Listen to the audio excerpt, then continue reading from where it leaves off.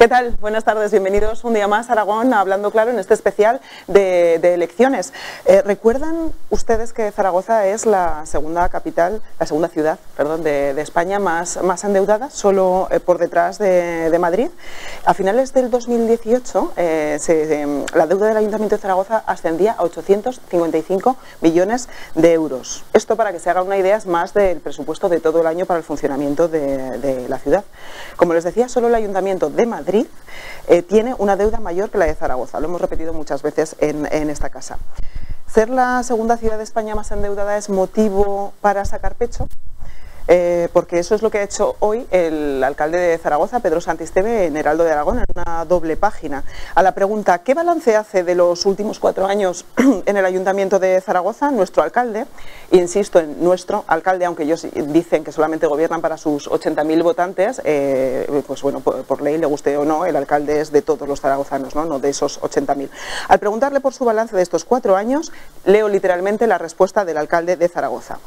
Eh, creo que Beatriz, puedes eh, ponerlo en la imagen para que lo vean nuestros telespectadores, esa imagen que habíamos preparado. Las palabras del alcalde son, hemos saneado las cuentas.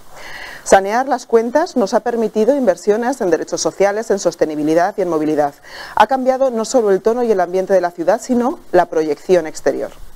Y lo repito porque me, parece importante, Zaragoza es la segunda ciudad de España más endeudada y el alcalde de Zaragoza saca pecho diciendo hemos saneado las cuentas. Ustedes saquen sus propias conclusiones, aquí nuestros eh, invitados de hoy sacarán las suyas y se las expondrán. ¿De qué más hablaremos? De Pedro Sánchez, que ayer pasó por aquí de nuevo para un nuevo eh, meeting. Esta vez eh, no fue un acto reducido, sino después del resultado de las últimas elecciones ya se atrevió a más y estuvo rodeado de más de 1.700 personas. Vino fuerte y vino prometiendo, prometiendo cambios en la ley de financiación autonómica, prometiendo eh, también eh, que tendrá en cuenta la, despoblación, bueno, hasta aquí normal, ya era lo esperable, pero la sorpresa no, llegó cuando Javier Lambán, el presidente de, Aragón, se refirió a Pedro Sánchez como un presidente situado en la centralidad política, en la centralidad. Eh, Beatriz Isa, ¿escuchamos esas declaraciones de ayer del presidente? Si fue capaz de demostrar su patriotismo y su impulso de políticas de igualdad con 84 diputados en apenas ocho meses, ¿qué no será capaz de hacer con 123 diputados situado en la centralidad de la política española y como mínimo con cuatro años por delante? Centralidad no, ese es el espacio político que se disputan Partido Popular ahora, Ciudadanos, el PAR. Ah, bien, pues ahora también el Partido Socialista está ahí. Sin más preámbulos, les presento ya a los invitados de hoy que nos darán su opinión sobre eh, estos dos asuntos y alguno más que seguro cae sobre la mesa. Santiago Palazón, abogado de oficio, pensador y gran analista permanente. Bienvenido. Muchas gracias, Celia, y bienvenidos o bien hallados todos los oyentes y todos los telespectadores. Contaremos también en esta mesa con Javier Muñoz, analista político. Bienvenido también. Buenas. Y con Raúl Burillo, candidato a la alcaldía de Zaragoza por el partido de Mosmas. ¿Qué tal? Muy buenas tardes, gracias por invitarme. Al fin y al cabo esto no es muy habitual, que los partidos pequeñitos que están tapados les inviten a un medio. Muchas gracias por habernos invitado. Bueno, esto aquí será el resto de medios, en el Radio Aragón, eh, Efectivamente, en la escuchamos a Por eso te doy especialmente las gracias. Él eh, se lo decía, lo he repetido hasta en tres ocasiones, esa frase del alcalde de Zaragoza, hemos saneado las cuentas y somos la segunda ciudad más endeudada de España. ¿Paradójico o no? Santiago. Eh, paradójico no ni sorprendente tampoco. Es normal, congruente y perfectamente adaptado a lo que es la realidad de este todavía alcalde que padecemos. Vamos a ver, este antiguo compañero abogado, ahora se supone que en excedencia y con aspiraciones a, seguir cobrando del erario público, se le nota que es de letras letras. Lo digo sin, sin ánimo de crítica. Vamos a ver, el gasto eh, de las entidades públicas se divide en dos cosas, inversiones y consumo, o sea, gasto corriente, lo que se llama gasto corriente. Como en cualquier familia, que por un lado se compra un piso y un coche y por otro lado tiene que comer todos los días y pagar el recibo de Entonces él está confundiendo eh, lo que es el gasto corriente, las subvenciones, a los amiguetes, etcétera, eso lo está llamando inversión. O sea, con lo cual ya Quiere decir que en cuatro años que lleva en el ayuntamiento no se ha enterado ni del nodo, como decíamos antes. O sea, no es que no se haya enterado de la película, es que no se ha enterado de nada. O sea, sigue sin saber cómo funciona un ayuntamiento y, sin embargo, lo está gobernando. Así nos ha ido estos cuatro años. Eh, con respecto a la, a la deuda, muy brevemente. El problema no es solo que Zaragoza sea el segundo municipio de España más endeudado, después de, después de Madrid, eso es en términos absolutos. El problema es que somos, salvado algún pequeño pueblo que tiene, ahí en la división entre deuda y número de habitantes, salen unos, unos números astronómicos, somos el primer municipio de España en cuanto a endeudamiento por habitante, que es al final lo que nos interesa a los ciudadanos. Es decir, que el ayuntamiento debe, debe mucho, pues bueno, pero, pero, bien, pero al final, dividido entre X ciudadanos, ¿a cuánto nos toca por cabeza? Incluyendo niños que están en este momento todavía tomando el pecho, porque aquí valemos todos. Bueno, pues es que somos la primera ciudad de España en endeudamiento por habitante. O sea, esto no lo levanta el, Ayuntamiento de Zaragoza en 20 años y ese es el problema. Por eso no puede haber inversiones de, importancia y por eso además las que sí que se podrían acometer no se acometen porque en lugar de parchear las calles nos dedicamos a, a subvencionar a las bicicletas y estas cosas. Claro, pues así, así ha ido a la ciudad y así está.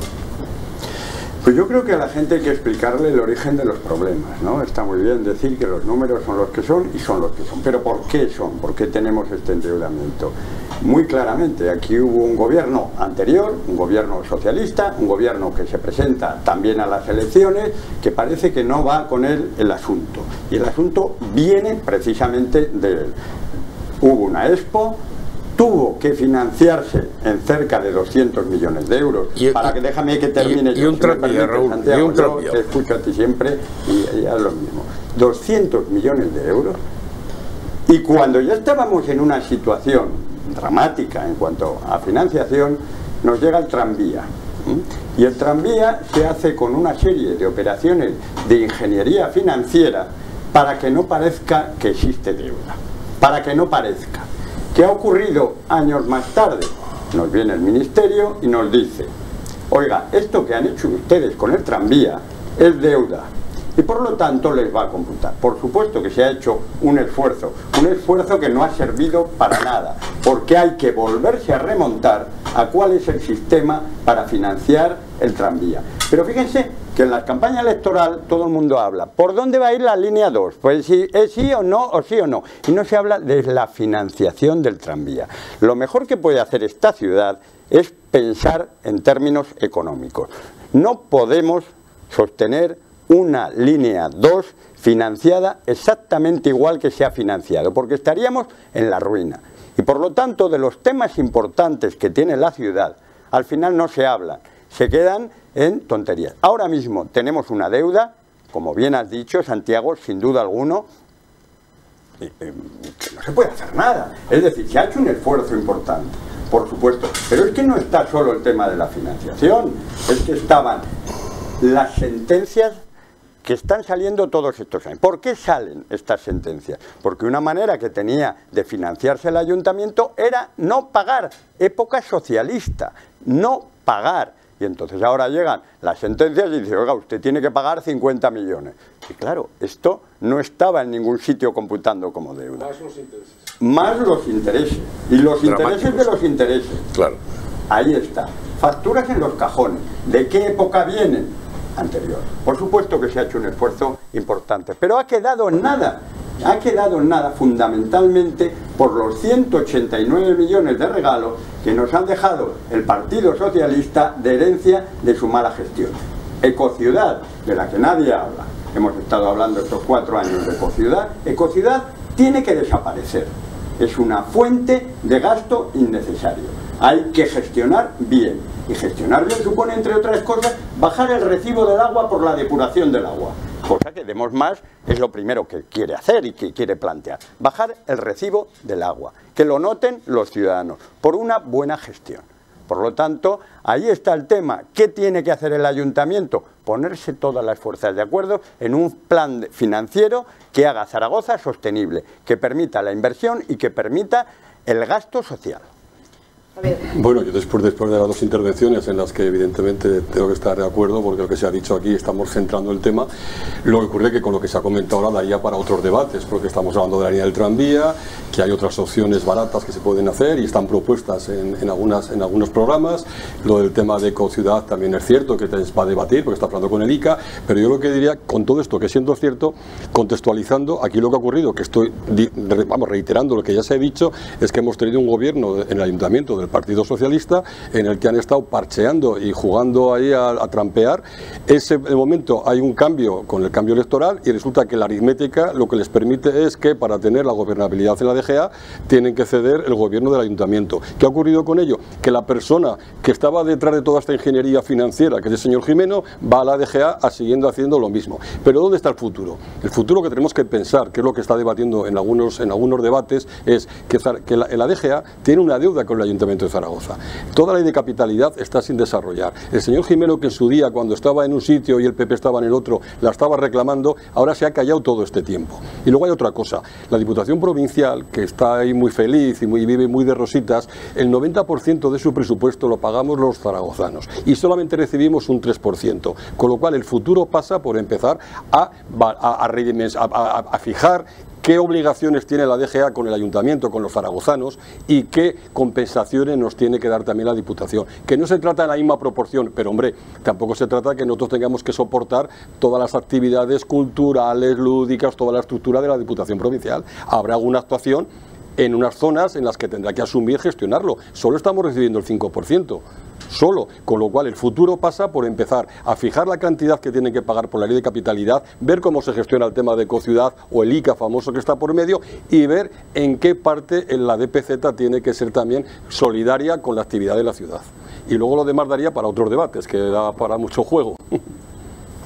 Eh, que nos vamos a la centralidad, que también en tu discurso ha salido. No, los impuestos, que también. Bueno, los impuestos, efectivamente, que también vamos, vamos mira, te, voy a tomar la, palabra, vamos con esos impuestos. Mira, yo no sé si habéis tenido tiempo de ver estas doble páginas de Heraldo de Aragón, eh, pero es llamativo eh, el hecho de cuando les preguntan por subir o bajar impuestos, o mantenerlos o reducirlos, yo tengo aquí apuntado, respecto a los impuestos de Zaragoza, Partido Popular, PSOE, PAR y Vox, Vox y Ciudadanos no son partidarios de subir impuestos, insisto, PSOE tampoco. Eh, y Podemos, sí. Zaragoza en común no contesta. ¿Demos más? Demos más, demos más tiene que hablar mucho de impuestos, pero es que lo curioso de las medidas políticas es... No me, haga como el alcalde, no me conté, o sea, no, no, no. subir de impuestos de subir los impuestos es, una, es un concepto que se habla muy alegremente. ¿Subir los impuestos a quién? Es decir, se pueden subir impuestos bajando a la clase media. Claro, hay que redistribuir los impuestos, porque aquí todo el mundo tiene medidas estupendas. Cuando se habla de impuestos, no se habla de impuestos, se habla de gastos. El señor Azcón va a subir 300 policías locales. Podemos lo que dice es que va a permitir la gratuidad del autobús hasta los 14 años. Pero nadie sabe si eso cuesta dinero o no. Subir la gratuidad del, del autobús supone dinero. ¿Cuánto dinero supone? Alguien nos lo ha explicado, nos lo ha dicho. Es decir, ¿es sostenible la medida? ¿Cómo se va a financiar? Entonces diría, bueno, pues sube los impuestos. Pero es que las clases medias, las clases trabajadoras no pueden pagar más impuestos que lo que están pagando en esta ciudad. El IBI no se puede tocar para las viviendas residenciales, para las clases trabajadoras y las clases medias. Pero sin embargo, Zaragoza tiene una peculiaridad. Mire, en impuestos, en los impuestos locales, no se puede hacer grandes historias de progresividad, pero sí algunas. Por ejemplo, los grandes locales comerciales, no los pequeños, no esos pequeños de la pequeña y mediana empresa, no, los grandes. La ley permite que hasta el 10% de los más caros que tenga un municipio, hasta el 10% de los más caros, tengan un tipo especial, un tipo agravado. En Zaragoza, ¿cuánto se cree que de ese 10% estamos aprovechando? El 0,8%. ¿Por qué no subimos los impuestos a los IBIs de los grandes locales comerciales que suelen ser de fondos de inversión y de grandes empresas multinacionales. ¿Por qué no lo hacemos? ¿Por qué están protegidos? Les pongo un ejemplo, algo que durante estos años no se ha hecho. no estar comenzando por último, no es que estén protegidos yo no creo que la alcaldía o el equipo de gobierno esté, vamos a decirlo en términos coloquiales, conchavado o formando un contubernio con estas grandes propiedades. El problema es más grave. El problema es de ineficiencia. Es decir, tenemos un alcalde que no ejerce, o sea, reina pero no gobierna. Y eso tú lo sabes muy bien porque has sido durante estos cuatro años su principal consejero. No he sido su principal en, consejero en- ni en materia, en materia económica. El problema es que no te ha hecho caso, En Raúl. y si te hubiera hecho caso, la ciudad, la ciudad estaría, estaría en, otras, en otras circunstancias, en otras condiciones mucho más favorables. Porque tú sí que conoces la ciudad y sí que conoces las finanzas municipales. Y lo estás haciendo. Y lo estás demostrando hoy aquí y estás haciendo propuestas de. El problema es. Estudié para ser eh, candidato a alcalde. He estudiado mucho. Me consta, ¿Eh? me consta. Ya has ejercido estos cuatro años eh, buceando en la información municipal y así le estás trasladando a esta mesa. Pero falta un ingrediente. Es decir, una cosa es la técnica, como decía Ortega, la técnica es la forma con que el hombre reacciona frente al medio. Muy bien, ¿cómo reacciona? Situando al frente de la Consejería de Cultura y Festejos y en sus ratos libres de Economía de Hacienda a don Fernando Rivares.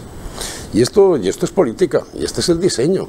Es decir, este señor que no sabe absolutamente nada de economía de Hacienda personal, pues resulta que es quien gobierna o quien dirige la economía y Hacienda municipal de la quinta ciudad de España. El desastre está garantizado desde el minuto uno y efectivamente lo estamos padeciendo ahora. Y quiero hacer referencia a algo que has dicho anteriormente.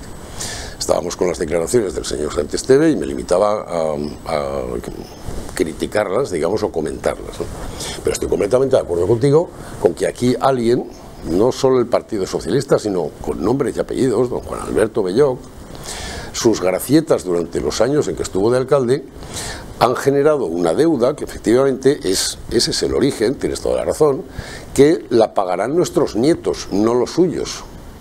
O sea, y el problema es que ha dejado una ciudad donde cada vez que tenía una sentencia desfavorable, pues lo que hacía era ordenar a los servicios jurídicos municipales recurran sí o no, o sea, sí o sí, se tenga razón o no se tenga razón, recurran ustedes, y claro, y ahora es cuando están llegando las últimas sentencias, ya las definitivas, las que ya no se pueden recurrir, y que lo que dicen es, efectivamente, debe usted ayuntamiento 50 millones de euros, por la razón que sea, muy bien, más los intereses que se han ido generando durante este tiempo al interés legal del dinero que está al 3,75%. Esto es bueno que lo sepan los, los oyentes. Claro, al final la deuda es tan mastodóntica que esta ciudad no puede digerirla. Yo insisto una vez más, y haciendo, y haciendo mío el argumento de lo que decías, Raúl, entre el gobierno del señor Belloc y lo poco que haya podido hacer el señor Santiesteve, agravando por un lado y mejorando por otro, al final yo creo que el saldo es cero, esta ciudad se encuentra con una losa que no va a ser capaz de levantarla en 20 años. O se pega un, un cambio de viento, por lo menos en las finanzas municipales absoluto, o de lo contrario Zaragoza se va a convertir en un pueblo, en el sentido no peyorativo del término, sino en algo que, bueno, pues vamos a ser como la, la, la, la España despoblada, pero con 600.000 Creo que tú habitantes. también conoces las finanzas del ayuntamiento. No sé si has sido asesor de alguien, pero sabes muy bien lo que ha dicho Bello. Soy letrado del Ayuntamiento por oposición e interventor de primera categoría. Información privilegiada, ya lo veo. Bueno, pero yo creo que al final lo que tenemos que pensar qué hacemos en el futuro. Nosotros somos la cuarta ciudad, quinta ciudad de España y también tendremos que empezar, bueno, cuarta, quinta, teníamos que ir ajustando. Bueno, nos llevamos miles, unos poquitos miles de personas, aunque hay un entorno de que, no tenemos como Sevilla, pero andamos, pero da igual, quinta. Y algo tenemos derecho a reivindicar. Aquí también ha habido unos, unos gestores, como ha sido el Partido Socialista, tenemos en Madrid también, ahora presumiendo al señor Sánchez, igual hay que reivindicar también algunas inversiones que nos aligeren, que nos dejen la ciudad que pueda ser habitable, viable y con proyectos. Yo la Expo, lo siento, pero aunque nos pudiéramos en dudar, estoy orgullosísimo. Hacía años que no tenía un chute de autoestima con todo lo que ocurrió con la Expo. Y, lo que estamos comentando es lo que nos han podido dejar, otra vez cómo se gestionó. Pero la gente también queremos, aunque lo- no sé quién, cuándo, cómo se pagará, cómo no se pagará, pero como he dicho antes yo, tenemos que involucrar a todos. La DGA no puede estar de espaldas a pagar la deuda que tiene con el ayuntamiento. Totalmente. El problema no fue la Expo, nosotros necesitamos como ciudad ser consecuente con el lugar que ocupamos en España. Claro. Grandes proyectos, proyección Claro. internacional, vida, Claro. alegría y que volvamos a ser lo que siempre hemos sido. Pero el problema es que si cuando estás hasta arriba de financiación te metes un tranvía mal financiado, Pero, hay, hay- pero hay- lo del tranvía ya es un debate que es para el tema electoral porque hay propuestas sin coste, con 3 millones de euros No, se no. puede hacer una línea que no está te hablo pendiente. de la nueva, que eso está muy claro, se hará. No se hará, no, pero si tienes una más, hay una más sencilla, una más, una más sencilla que nadie nos paramos a pensar. Tenemos 16 kilómetros de, cercanía soterrado que solamente eh, no consiguen la frecuencia deseada porque una actuación que hizo el Ayuntamiento de Bello, lo que fue estrangular la vía para que tuviera doble vía. Con 3 millones de euros desbloqueas toda la, línea transversal. 3 millones de euros. Eso sí puede ser. claro, por supuesto, tendremos un metro. Bueno, un metro que, que, de Zaragoza hemos hablado ya bastante y nos, eh, se nos está acabando el tiempo. ¿Qué tal esas declaraciones? Comentamos esas declaraciones de Javier Lambán. Ahora el PSOE también se disputa el centro eh, político. Vamos a ver, es que estamos con los famosos argumentarios de los partidos políticos, fundamentalmente de los grandes. Es decir, hay un equipo de pensadores, que son los, lo que llamamos habitualmente la fontanería del partido, o los que están en el cuarto de calderas, que durante la noche van leyendo la prensa, van estudiando las encuestas o las aproximaciones, etcétera, y entonces, claro, a las 7 de la mañana todos los candidatos o todos los dirigentes del respectivo partido tienen ya lo que se llama argumentario, que son el manual de instrucciones de la lavadora, ¿verdad?, para ese día. Y entonces hay que repetir determinada frase, hay que repetir determinado eh, concepto. Por la mañana hay que vestir de una determinada manera, por la tarde hay que vestir de otra, es decir, está todo absolutamente milimetrado. Entonces, como ahora lo que se lleva es la palabra centro, bueno, pues entonces todo el mundo centro, aparte del viraje que pegó Pablo Casado en 48 horas, que bueno, pasó de las musas al teatro, pero ahí se ha quedado la cosa, ¿no? Ciudadanos que ya está ubicado en el centro, y Lambán que le dicen, tienes que decir que estamos en el centro, yo sé qué, porque además cuando te mire Sánchez y cruzará la pierna y en ese momento es cuando tienes que decir la palabra centro y así se ve en el vídeo, ¿no? Pero el pobre hombre pues no capta muy bien y estos días son muy agitados, se duerme mal y entonces dice centralidad. Claro, como centralidad que se está refiriendo a que el señor Sánchez eh, se ha presentado por Madrid, y que efectivamente está en Madrid y que ha venido a provincias ayer para ungir con su manto pues al, al, candidato al candidato Laván que, que dice centralidad en lugar de querer decir centro político. Por lo cual entonces esta palabra se equivoca cuando la dice, se equivoca por lo tanto en el concepto y a los posibles votantes sencillamente los desconcierta. Eso de que el PSOE, que siempre ha sido un partido que ha presumido de ser de izquierda, izquierda moderada, izquierda lo que sea, ahora de repente diga que es de centro, eso al votante socialista lo deja perplejo. Eh, Raúl Burillo, si podemos ser breves porque pues estamos nada, fuera de... toda la razón lo que has dicho. Puedes poner incluso también el ejemplo del señor Casado. Estaba en la derecha y ahora está centrado en Zaragoza, centrado en no sé qué. El ejemplo es igual de bueno con Javier Casado. Pero es que lo que ocurre, lo han dicho perfecto con los partidos tradicionales. Les importa muy poco solo su imagen, lo que piensen, donde digan que están. Estamos hablando de ayuntamiento, estamos hablando de gestión, estamos hablando de gestionar bien lo importante de una ciudad. Y no es lo mismo hablar para una comunidad autónoma que para un ayuntamiento. Y un ayuntamiento tiene las cosas importantes que ve un ciudadano cuando se levanta. Su basura, su limpieza, su metro, su, su metro, su tranvía, perdón, su autobús. Y eso es lo importante. Y un ayuntamiento tiene que ser social.